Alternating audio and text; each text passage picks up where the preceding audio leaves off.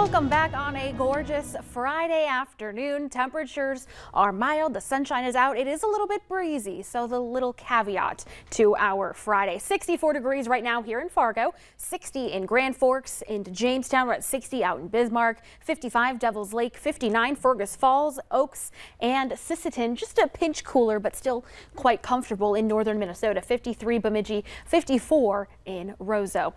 Looking outside, satellite and radar showing just a few thin high level clouds moving in across the valley. A bit more cloud cover will be working its way in from the west to the east late tonight and into the early morning hours of Saturday. But let's talk about the wind. Gusting to 20 miles per hour in Thief River Falls, so just a little breezy in some of our northern Minnesota communities.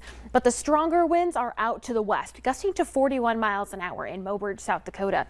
That wind is going to stick with us for tonight. We'll see increasing cloud cover, temperatures still quite mild and still breezy through the overnight hours as well. Now watch these greenish yellow shaded arrows. That's gusts over 30 miles per hour, upwards of 40 miles per hour.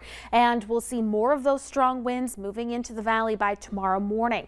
Not as windy in northern Minnesota, but quite blustery to kickstart our Saturday. Temperatures on the warmer side, generally in the 30s, a few upper 20s uh, in a couple of our far eastern communities, Minnesota, uh, thinner cloud cover and again a little less wind. Decreasing clouds then for the afternoon, partly cloudy to mostly sunny.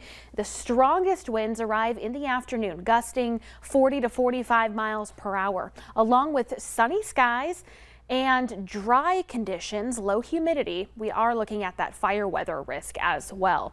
And the wind still with us on Sunday. So we have a fire weather warning until 7 o'clock tonight for these red shaded counties. This is due to the low humidity values and strong wind gusts. The rest of the valley is under a fire weather watch for tomorrow the afternoon into the evening of our Saturday, but for the same conditions. Dry conditions, low humidity, strong winds, warm temperatures. Here's the latest outlook of that fire weather conditions risk. Much of the valley, if not all, going to see at least some type of fire weather risk, but especially in these darker oranges. A couple of things that you can do. Avoid outdoor burning. Take caution with equipment that is prone to sparking.